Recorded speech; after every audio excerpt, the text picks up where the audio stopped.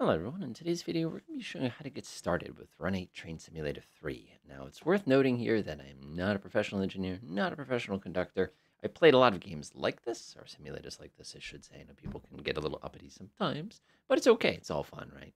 But what we're going to be showing you today is just kind of how to get the game started and how to get moving around a little bit, how to do a little tiny bit of dispatching, and basically just how to get to that point where you can start sort of exploring with a locomotive. So uh, first things first, uh, before you get too carried away, after you've done install the program, make sure you grab the update or off their website and update the simulator just in case there has been any major changes recently.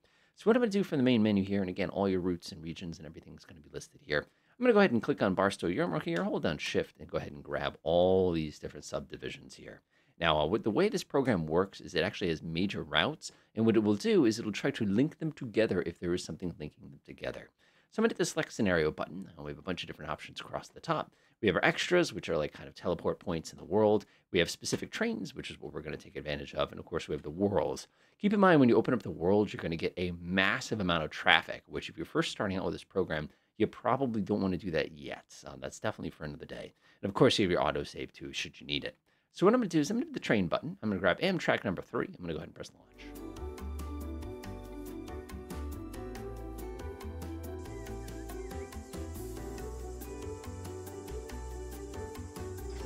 And here we are. Uh, the first thing you notice, and the reason why I like this scenario, is because of the fact it's uh, nighttime and there's a lot of little things we're going to have to solve here. First things first, though, when you get in here, I'll go ahead and press WASD, uh, just like a first-person shooter to walk. If you want to go ahead and walk a little fast, you can hold down the Shift key. If you really want to walk fast, you can hold down the Control key. That whole metric of controls is going to be continuous throughout. Now, if you're wondering how I'm able to look around here, you just simply hold your right mouse button. If you let go, it switches to clicking mode. If you hold right, it switches to basically looking mode. Now, right now, it's a little too dark to see what we want to do today. So I'm going to take my mouse to the top of the screen, same options, daytime, and you can just come down here and set this, or if you prefer, you can actually dial in a specific time. Now, let's say I want to make this a little bit earlier in the day or a little later in the day. Again, we can come in here and adjust this uh, should we need to do so. Now, limited to T, only past and present. I appreciate that kind of a thing like that. You know, it's just sort of one of those things that we can adjust. Now, if you notice this error up here, the reason for that is because you can't go into the future. So if I take my mouse here and actually hold it over here and uh, go backwards, you can actually change the time of day. So remember, it's only backwards. That's what they're referring here. Oh, well, uh, just one of those little things you got to watch out for. Why it's like that, I don't know, but it probably has to do with timetables and things like that. So first things first, so we have ourselves a locomotive. Uh, you probably notice on the side of it, it's got this big run 8 thing here going on. This simply means you do not have the specific texture pack that uh, they're selling as a separate DLC. Same thing with these uh, cars. They look like box cars. Um, these are actually really fancy sleeper cars and stuff like that. They're just not going to be visible. But believe it or not, we're not interested in this locomotive. I'm actually going to press it. I'm actually going to go ahead and uh, press delete here because I don't want it. Now, the other couple things you're going to see too, as far as controls that are very helpful, is if you use your mouse wheel, you can zoom in and out, which is fantastic because if you're trying to do something like identify a very, very, very, very far away signal, you can actually do something like this and get a really, really good look at it directly. Now, the next thing we're going to take a look at is kind of how to fly do that, simply press Shift and F12. Now, the same system of walking is going to be the same system of flying here. If I press the Shift key, we're going to go a little faster. If I press Control, we're going to go zoom, zoom. Now, what you'll observe here is uh, we're missing um, some track. That's okay because uh, we didn't purchase this particular DLC. Or if you're enabling your scenarios, you miss something. Otherwise, this would continue, assuming there is available track for it. Now, if you're wondering what happens when a locomotive smacks into that, uh, don't worry about it. Nothing bad will happen. You'll just stop. and trust me, I've done it enough times. So what we're going to do now is we're going to go ahead and try to figure out where we are in the world. Now, if you just take a look around, um, yeah, we're definitely somewhere in the Mojave Desert. That's about as much as we got going on for ourselves. Now, there's a couple tools we can use to find ourselves. Uh, the first one, of course, if I press Shift Z, you can actually cycle between different things. So, like if you look at the top of the screen here, it says I am in train crew tile uh, X270 minus 20. And again, I can press Shift Z a few times, and it'll go ahead and give me some critical details. One nice thing it will give you, though, is it'll also tell you what heading you're facing. So, for example, if I turn my head like this, I know that I'm facing basically a due north here. You know, if I turn my head kind of this way, I know I'm facing roughly to the west. And the last thing we can do, of course, is you can press on the Shift, I'm sorry, the uh, Control and F8 key. And what that will do is that will turn on the milepost markers. Like if you take a look here, do you see how this one right here says 580? That simply means we're at milepost 580, uh, right over there in the distance. This is great news for us because when I press F3, it's going to bring up the dispatch page, which is also going to be kind of acting like a world map here. Now, if I press left and right arrow, I can surf between the different locations served. And one of the things I notice is if I come over here with my mouse, I see Needles is a 582.2. That means we're somewhere here. Now, if I press the Shift F12 real quickly here, I can flip my head up a little bit, and we can try to look around and see if we can identify anything. Ah, what's this, you say? You know, taking a look around, we have a tri-state truss. Uh, we have ourselves our yard. So this is exactly what we were hoping to find here. So again, if you want to look at this, I'll zoom up just a little bit here. If I tap F3, there's my Amtrak location right there. One, two, three, one, two, three. And of course, I know that my yard is to the right and my yard is to the right. This is fantastic. Now, one of the cool tricks they give you to make your life a little bit simpler is if you press the F3 key, if you hold your mouse over anything that highlights, you can auto teleport to it by pressing the spacebar key. So for example, if I see my yard here and I go ahead and say, hey, what's this over here kind of a thing? Whoop, helps if you push the right button when you do that. Just hold the arrow like that, and off we go. Oh, we're already in that location, so it doesn't make a difference. So if I hold my mouse over here and hit spacebar, it would uh, whip us over here. You can see we're in the middle of nowhere. If I were to go back to here and hit spacebar, it's going to go whip us over there in the middle of the nowhere as well. And again, that's kind of a neat trick that you can definitely take advantage of. Is one of those things you want to kind of be mindful of, though, because it will literally take you in the middle of nowhere if you're not careful.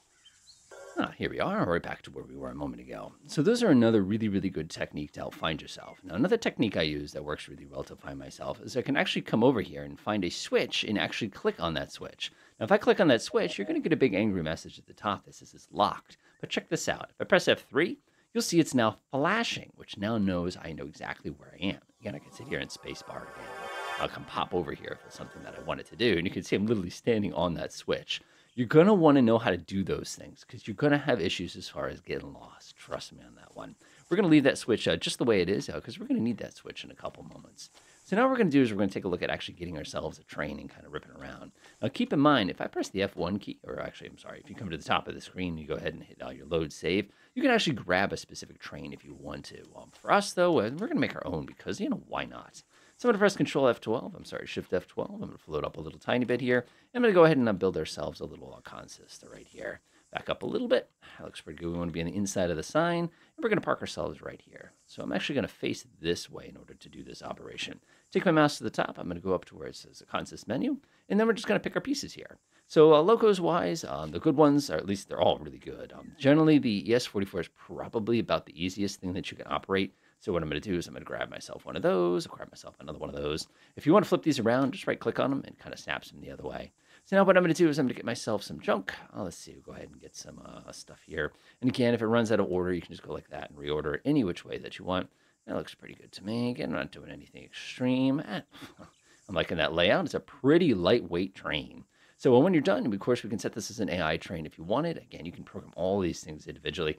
That becomes a full-time job, trust me. I'm going to hit place train. I'm going to hold my mouse over here. Go ahead and click once, and there we have it.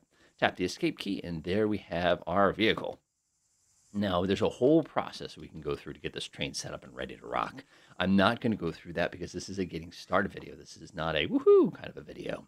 But what I'm going to do is I'm going to run over here, click on my little uh, box cars here, and you can see as soon as I add weight to them, they go, and they basically uh, sink downwards onto their uh, big old trucks there go ahead and give myself a little bit of weight. I don't want to be like massive, massive, overpowered, whatever you want to call it. And it's actually pretty cool because the computer inside will actually tell us exactly what it is. Now, there's a whole process here. If you actually come between these cars, you'll notice the fact, for example, their air hoses are not plugged in. If you know, go up to this one right here, you'll notice probably, yeah, there's absolutely no connections. Now, if we wanted to, we could come in here and actually connect everything manually. We're actually going to skip that for today. That's definitely for another day. So instead, what I'm going to do is I'm going to come up to my head locomotive, click on it, and we're going to go ahead and run through some quick pieces here. The first one I'm going to do is I'm going to press auto start. What that's going to do is it's going to start this one and this one together. Now there's a whole process. I could actually climb inside of here, turn my head around and actually push all the buttons if I want to start it that way. It is completely acceptable. It's a great way to uh, run these things. But keep in mind, like I said, we're trying to keep this relatively simple today. So that's going to start up. Uh, this little yellow here is going to turn to the green in just a few moments. Just like that. So now what I'm going to do is I'm going to press on Auto MU. I'm simply going to take this guy and say, hey, we need to talk. Now we're also going to go over here, back here. We're going to say Auto CB. Those are just our circuit breakers. You can see all the lights and switches changed. Auto EOT, oh, what that's going to do is that's going to park a little thing on the end of our train here. If I jump to the back of the train, that's this guy right here. It makes a whole lot of racket. It's a very, very cool little tool tool because um, we can use it for a lot of different things. Jump back up to the front of our train real quickly here. grab that one. And we're also going to say auto AB, and that's going to set kind of all your last sort of minute things there. It's going to all recharging. Now you'll notice if I left click on any of these, uh, you can see here that uh, we've got ourselves plenty of brake pressure. You can also see the fact that this is coming in. If we wanted to sort of uh, speed up the process, we could actually tap the F7 key and that will actually set everything for recharging and ready to rock. But otherwise, we're ready to go with one detail missing, and that's the hand brake. So I'm going to press Control and F11 on my keyboard to go ahead and climb into the engineer's seat. Now, as tempting as it is to just tap the button to release all the brakes on the train at one time, uh, that's not a good idea because our main brakes are actually not set right now. So what I'm going to do is I'm going to go ahead and press control, uh, the home key, and that's going to set a minimum reduction here. If I press the end key, it's going to go ahead and release them completely. Press control home, it's going to jam it right up to full service, right up in this position. Now, train brakes are a little different than car brakes, but I'm, I'm sure if you're doing a locomotive sim, you know all about how they basically work. The super duper duper short version here is basically you have two different, actually, this will be a lot easier to show you if I stand on the side of the train here when I show you. Let me go grab it. The way this works is pretty simple. If you take a look here, you have a brake pipe, you have two reservoirs, and you have the brake cylinder. The brake cylinder is how much pressure is actually going into the brake to hold the brake closed. The reservoirs here are basically the uh, pressure required to actually squeeze the brake cylinder, and this is your brake pipe. What this basically does is this sets the point. The difference between my reservoir and my actual brake pressure is how much pressure I'm actually going to be applying to the brakes. Now, the interesting thing here is if I release the brakes, I'll press the end key. What you'll notice is the brake pressure comes up, and all these uh, reservoirs basically charge themselves back up using some of the air off of this. And you can see the brake cylinder slowly releases as all these different forces start to equalize in their system. Now, one of the interesting things that this program simulates is it actually will simulate brakes getting stuck. Now, I'm looking up at the top here. There's a reason why I've got this. Shift Z a bunch of times, by the way. You can see I don't have an issue. Of course, right now, there's no brake set on my train, so I'm going to go ahead and re-enable the brakes because I don't want this thing rolling away on me in the middle of an intro video. Don't worry about that stuff too much. But if we climb back inside, we'll go ahead and look down. Remember, we have hand brakes. We're not going to roll anywhere. It's worth noting that this here tells us what the current brake pipe pressure is. Actually, I'm sorry, this set is the set point. This is the current pressure. This is how much brake pressure we have in our locomotive.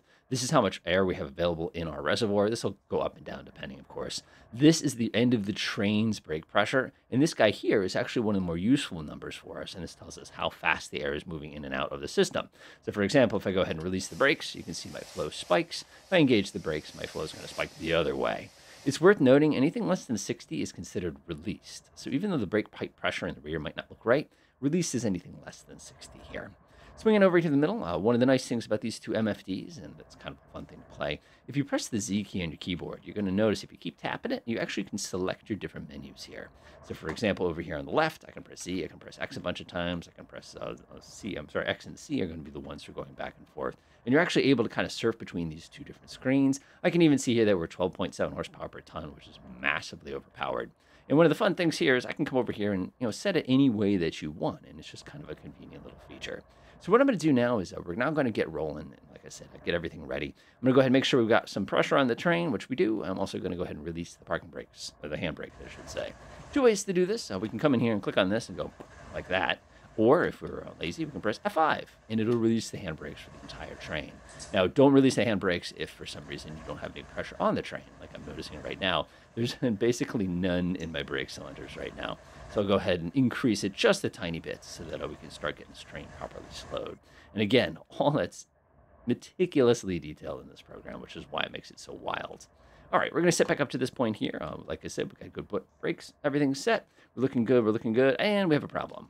Bum, bum, bum. We have a big, nasty red signal. Now, unlike other train simulators, um, I can shoot you through that signal and I'm not going to get any messages or warnings or I'm not going to get fired and the scenario is not going to restart. You know, if I go to derail the train because I ignore a signal, that's my fault. So instead, we have to do something to get rid of this signal and actually change it. Now, there's two ways we can do it. Uh, we're going to take a look at both of them today. And the first one, of course, is we can open the signal up ourselves. So I can go ahead and climb out of this train. I can look at it going, what's holding us up? Or, you know, one of the things I can do is tap the F3 key. Now, this is your dispatcher's page. There's a lot of details in here. Do you remember a little while ago when I mentioned that this is where we're currently parked? And remember how I clicked on this signal here? Well, that's where we are right now. We're actually sitting right out here, kind of pointing in that sort of a general direction. So what we can do is we can actually come over here and change this switch. Now there's two ways we can do this. Uh, there's the kind of the safe way and there's kind of the traditional way. Traditional way, we just come over here and we left click on it once. And what that's going to do is it's going to change the points on the ground and it should switch it so that it's uh, facing our correct direction. Yep, you can see that this is now a solid piece of track, so that's ready to go. The other way we can do it is we can right click on it, which gives us exclusive control over it, then make the switch. Both of those obviously are going to have their advantages and disadvantages depending on what you want to do. So what I want to do here, of course, is I want to actually take us all the way down. I'll make sure, by the way, if you set a switch, you release the switch. Don't be that guy kind of a thing like that. Now, what we want to do now is we want to go ahead and clear the signal. Now, the signal is the same exact concept here. If I right click on the signal, basically you're giving exclusive access to it. If I right click it again, you see how it turned gray here? Whenever it turns gray, it means nobody has control over the signal. It's uh, kind of one of those things that you be mindful of. If I actually come over here, you'll notice that the signal did not change colors for me because of the fact that it is uh, now basically disabled. So what you have to do is, uh, go ahead, come over to the signal. We can right click it and take exclusive, or we can left click it and it's going to go ahead and put it onto a permissive mode. Now, if I look up, you'll see that we get ourselves a big old yellow little light there. Now I'm going to go ahead and climb out of the train real fast. You can see I'm going to show you exactly what the, whoa. uh, my shift F12 and control F12s are always backwards. So what that's going to do is that's basically going to put us onto this track here. Now, if I go all the way, do, you'll notice that my next signal is a big fat red. Now, one of the things we could do, of course, is we could have three again, and you can see that our train path only goes to this point. So let's say I wanted to open up this signal. If I click that now, you'll now see that that turns to green, and now that entire location is red. By the way, if you get too far away from your train, a quick and easy tip is if you take your mouse to the top and go to transport to my train. Yeah, that's the sound from Star Trek. I think it's TNG, actually. By the way, if you look up top now, you can see I've now got myself a green light. Now, one of the things I had mentioned a few minutes ago is the fact that I demonstrated one of the methods to do this. There's actually two methods to do this. what I'm going to do is I'm actually going to take away my authority for this particular signal. We'll go ahead and uh, empty this. There we go. And what we'll do is we'll pause for a moment. And then we'll take a look at the automatic dispatching. Now, the auto dispatcher is actually really wild because what it will actually do for us is it will line things for us. It'll get the train and track and all and everything ready to go. The problem with auto is that you have to tell it exactly where you're going and where you're coming from. So one of the things you probably notice at the top of my train, Control F8 by the way, is this says the word none. No, we're not actually set to go anywhere. So if I want to, I can actually click on my train and I can define where I want to go. Now this is a bit of a process. Now, the first thing you're going to do is you're going to type in a letter based on what your priority is. Obviously for M we're manifest, if for A we're Amtrak, if for Z we're priority one. Give us everything we can got. Then we're going to do a dash, and then we're going to talk about where we're coming from, and then we're going to go ahead and say where we're going to. Now you're like, wait a minute, wait a minute. How did you know that we're in NDL? Well, if you actually go to this cool little website called Open Railway Map, there's a lot of other choices for this, by the way. You'll actually see that we're sitting here in the, the Needles, uh, which is exactly, you can see we're kind of facing upwards. As a matter of fact, I could probably zoom in all the way and you can see the actual track that we're chilling on right now. And you'll notice that it said NDL on top of it. And that's kind of the code for that particular region. And what we're going to be doing is we're going to be heading out to Barstow. That's B-A-R listed there. So what I'm going to do is I'm going to take that information I've just collected and just build my little signal. So this is where we're coming from, and this is where we're going to. And if we had a separate priority number, like if I put a priority 9, this is basically the most express train you can possibly get. Now, the reason that's cool now is if we get into the automatic dispatcher system, it's going to know that it's supposed to be sending us to a particular location. And again, it's not going to be perfect. It's going to do a nice job, but like I said, not 100% amazing. Now, well, the one thing we're going to do is we're going to come up to dispatcher, we're going to enable auto. Now, we are not actually in the system We're still just sort of chilling. So I'm going to go ahead and climb back inside here. We need to talk to the dispatcher to actually ask them to set us up here. So what we can do is a couple different methods. Um, again, this is just getting started. We're not going to go into the fancy method today. So what we're going to do is we're going to go up to dispatcher, DS menu, tone dispatcher. And what that will do is that'll basically call up dispatch, and uh, we just have to describe to them what we need ourselves to be able to do. In this case, well, all we're going to do is we're just going to ask them, uh, can we go ahead and get the mainline authority? That's going to say, I cannot issue that. But what we can ask you for is we can ask you for the signal that's directly ahead of us. Now, keep in mind, auto is good, but auto is not perfect. Uh, you'll be running into issues with auto pretty rarely. But by the way, notice, by the way, we have the green signal. And check this out. Check this out. Look at that. So you can see he actually dispatches all the way through. And the nice thing here, too, is if there are other trains on this particular route, it would matter to us because of the fact that he can now dispatch us all around. So he just gave us the signal. We're in the computer now, and he will actually clear us. As you can see, he just cleared us again. He will clear us all the way through this. Keep in mind the distances here. This is 582. Uh, Minneola is 731. Uh, that's, that's you know, 50 miles away. It's a long ride. So let's get this train going. So what I'm going to do is I'm going to go ahead and uh, start by pushing my uh, little uh, selector here. This is going to be direction. Insert, insert, delete, delete, insert, insert, delete, insert, delete, insert, so that it's in the forward position. What I'm going to do is I'm going to go ahead and uh, release the brakes here.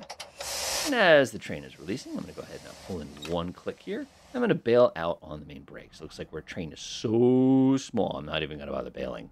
Bailing is simply the process of relieving the pressure that is inside the locomotive brake. Now, if I want to, I can press the bail button, but nothing, nothing's going to happen there because, like I said, there's no pressure in it. If you're a monster train and you need to stretch the train out, which is a common problem, you can use that as one of the strategies. There's actually a lot of slack strategies. Now, one of the things you probably notice up at the top of the screen, again, I left this open so you can see this clearly, is this is going to tell you how the pressure in the train actually propagates. I'm actually going to leave that open so that you can see it. So what I'm going to do is I'm going to go ahead and uh, bring in uh, run two here. And what you're going to see is the whole train is going to stretch out a tiny bit here. And uh, this little thing, is a couple of thousand pounds, is how much stress you're putting on the couplers. In this program, you have a lot of possible failures. Uh, my favorite failure so far, other than wait until you derail your first train. It's a bit of a process to get yourself back on, by the way. Uh, one of the most common things that happens to me, other than a stuck brake, is uh, you blow a coupler. You know, you're going up a hill and you give it just one too many power, and the thing goes bing, and then you got to run back and put the whole train back together. So what I'm going to do, just to demonstrate that concept, is I'm going to jam this into running, which, um, but notice what happens here. Our little train here is uh, stretching out. And if you're wondering why it's stretching out, by the way, the number four in your keyboard will give you this uh, of groupy third-person view here. The reason it's stretching out is because all the power in my train is in the front. You can actually see that stress propagating down this source of my train. Now, if this guy were 6,200 feet long, which I've done, I've had like five locomotives in the front, two in the back. It's unbelievable this slack becomes a real problem. So you got to be kind of be mindful of it. There's a lot of different strategies to go ahead and deal with it depending on you know kind of the nature of your vessel. Again, depending on what's going on. Are you uphill, downhill? Are you coming to? A, you need to slow down a little bit. But those are way outside of the scope of kind of normal train operations here. Now, one thing you'll notice here is uh, we're cruising along at about uh, 36 miles an hour.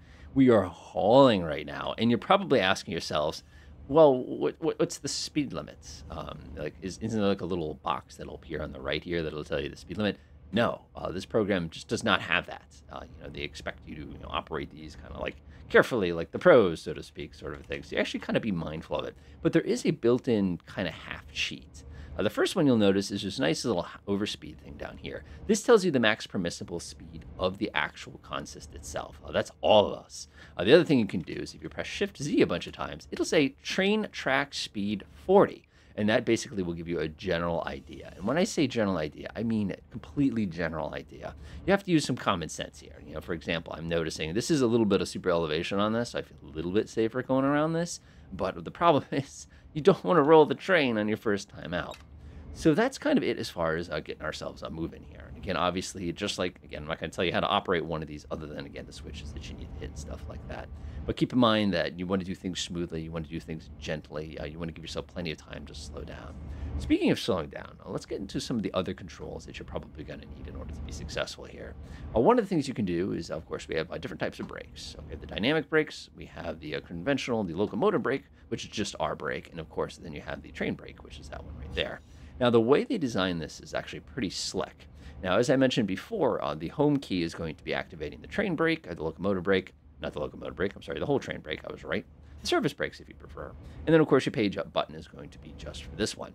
Now, notice, let me go ahead and uh, take my head out a little tiny bit here. I'll go ahead and press minus a bunch of times to kill the throttle. If I just press the home key, we get a minimal. If I press the end key, it's going to release it. Obviously, we're going to stretch this train out like crazy. Let's go ahead and show you what that looks like while we're doing it. Now, if I tap the page up key, notice it just gives me a little teeny tiny pop of that particular brake. Now, if I actually wanted to do anything, we actually got to give it some pressure, and you can see that pressure starting to build up in that brake cylinder right now. Obviously, we got a little thing here that's giving us a heads up saying, hey, uh, you're slowing down very rapidly. Is that intentional kind of a thing? Uh, yeah, as a matter of fact, let's stretch our train out really royally here. Notice, by the way, that you've got this handy little thing here that tells you which your acceleration is. This can be a little slow, so I just kind of be mindful. The reason I love this tool is if uh, you're going up or down a mountain or something like that, it's really helpful for identifying just how stressed you are. Now, if you take a look here, uh, we got a positive aspect. Uh, we can go ahead and shoot right through this. Uh, you can see automatically an AI train has spawned themselves in there. Again, pretty, pretty high priority train. Now, what we're going to do is we're going to finish kind of uh, coming through this turnout here. And then we're going to go ahead and take a look at the final option, and that's going to be our dynamic brakes. Now, what they do really well in this sim is they simulate uh, kind of the grinding of the flanges up against the side here. So when you go around a corner, uh, you have to actually keep your power up. Otherwise, what's going to happen is uh, you're going to be all sorts of mean. And yeah, I'm being a little mean with the handle, but like I said, I'm just trying to get myself lined up here.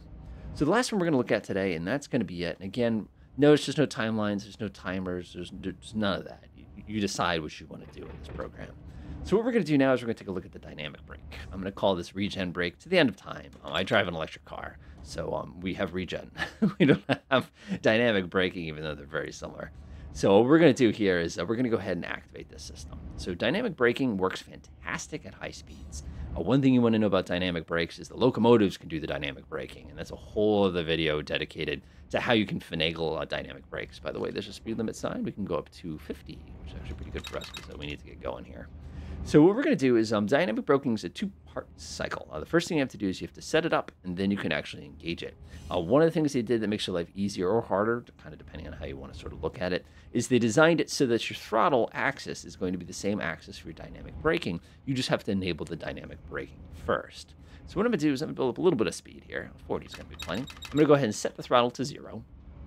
You're going to want idle, and I'm going to press the divide key on your numpad. You see how the little thing popped into the setup position? Now we're ready to hit the dynamic brake. Now what I'm going to do is I'm going to tap minus now on my numpad. I'm really going to jam on it because I want to show you the train scrunch up. Ah, that's barely scrunched. Yeah, that's a shame. But notice how fast we're slowing down. Let's go ahead and pop out. You can go ahead and tap it to get rid of it. And when we're ready to go back into normal throttle, we can just press the divide key again. After you push that into that position, this will switch back to the word idle. And then you can go ahead and use your plus and minus on your numpad to go ahead and select those options. If you need to hit the horn, all you do is tap the spacebar. Keep in mind when you do that, you're going to get the bell. To shut the bell on and off, you can either come over here and actually push the button, or if you're kind of a show off, you can press period on your numpad as well. So that should be a pretty good introduction to operating just the basic locomotives, getting you started. There's a lot of little things that I skipped. I was just hoping that you'd have the opportunity, you know, just to be able to jive in and start enjoying, you know, kind of operating and doing all these other pieces. Keep in mind, you can do things manually, you can do things automatically. It's all part of this program. Enjoy.